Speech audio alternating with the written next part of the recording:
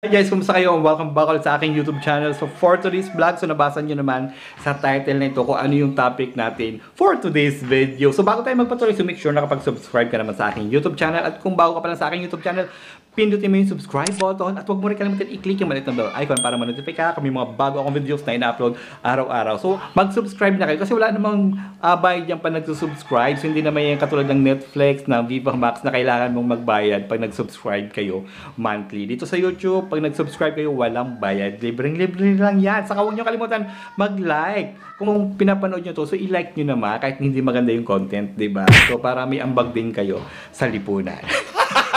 Gago! Sige nga. So, pag-uusapan natin yung tungkol sa pagpapalawak ng internet connection sa loob ng bahay. Okay, sa loob ng bahay. So, pwede rin naman maglagay ng internet connection or ng modem sa labas ng bahay. So, uh, pag-uusapan natin kung paano natin mapalawak yung internet connection. So, uh, kasi sa loob ng bahay, hindi may iwasan na, ma- na mayroong dead spot. So, halimbawa, uh, may nakaharang sa sa tapat ng modem nyo, may nakaharang. Halimbawa ito, ganito sa kwarto. Yan, ito yung kwarto ko. Yan. So, pag nandiyan ka sa loob, medyo mahina yung signal. Nagkakaroon siya ng lag pag naglalaro. Okay, so yan. Ito yung uh, merong uh, harang. So, nagkakaroon siya ng problema sa pagbato ng wifi. Kasi yung bato lang ng wifi natin, ito yung, ito yung router ko. Yan, ito yung router natin. So, ang bato lang yan dito. Yan. Papunta dito sa kusina. Yan. Tapos dyan sa likod ng bahay, abot din dyan. Kaya lang pag maglalaro, medyo lagi nga daw. Sabi ng mga nakiki-wifi dito. Tapos pagdating naman sa CR, so ang sa, sa CR kasi, ah, isang bar na lang yung ah, nakukuha or nasasagap ng cellphone kasi kulong na siya masyado. Kasi nakaharang tong kwarto, tapos yung sa CR is kulong na kulong. Ah, kaya nagkakaroon siya ng lag. So hindi abot or hindi kalat yung signal sa loob ng bahay kasi may mga nakaharang. So, ang ginawa ko ay bumili ako ng isang router sa Lazada. Binili ko yung tenda. So, this one. Ayan. Ito yung LAN cable. Ayan. Ito yung binili ko LAN cable. Ayan, natanggal siya. Yan, papunta yan dyan. Oh. Yan. Nakabaybay yan. So, papunta yan dun sa likod ng bahay. Okay? So, papunta siya dun sa likod ng bahay.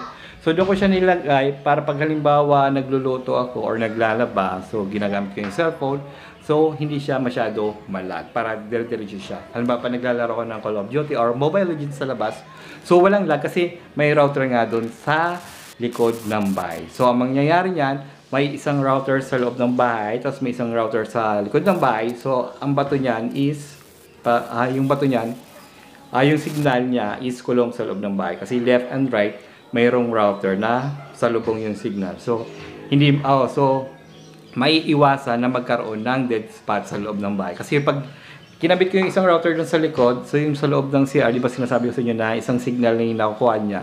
So, napupuno niya na yung apat na bar, yung signal. Pag naglagay ako na, pag doon ko kinakabit yung isang router sa likod. So, tapos dito naman sa, sa labas ng bahay, dito sa harap, yan, dyan sa labas ng bahay. So, abot naman niya yung signal. Kaya lang lim may limit lang. Hindi naabot dun sa tinatambayan ko. Yan. Papakita ko sa inyo. Ayan. So, yan. May nakaharang kasi isang bahay. Yan. Yun yung puno ng mangga. Yan. Doon ako natambay minsan paghapon. Pag pag nanonood ako ng basketball. Ang problema is hindi naabot yung signal. So, abot lang doon sa may court. Kasi walang harang, abot lang doon. Yan, one bar lang yung nasagop dun sa tambayan ko. So, ang ginawa ko, diyan ko nilipat yung router. Yan, para pag halimbawa, uh, nandun ako sa tambayan, nanonood ako ng basketball. So, maganda yung signal. Kasi yung router, yung internet is malawak ang abot. Malawak yung abot niyan. Yan. Para pag halimbawa, uh, trip namin doon maglaro, yung mga nakapunta dito na wifi. So, uh, nasagap nila yung signal ng wifi namin. Okay? Yan. Tapos pag halimbawa trip mo doon sa likod, so pwede mo siyang ilipat doon sa likod yung router. Depende kung saan mo gusto ilipat yung router. Kaya mas maganda may router kayo sa may extra kayong router.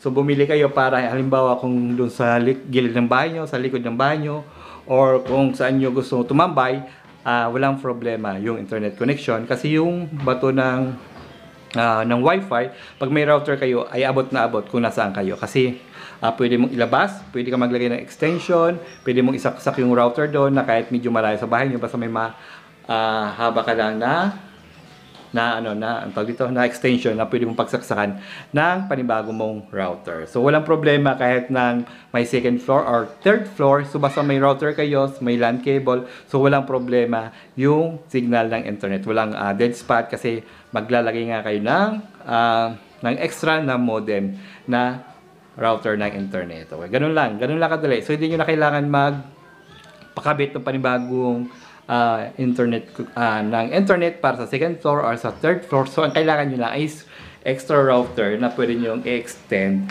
yung wifi signal nyo sa second floor, sa third floor, or kung saang area may dead spot ng wifi, ng internet connection or yung ah, dead spot ng connection ng wifi. So, ganun lang kadali guys.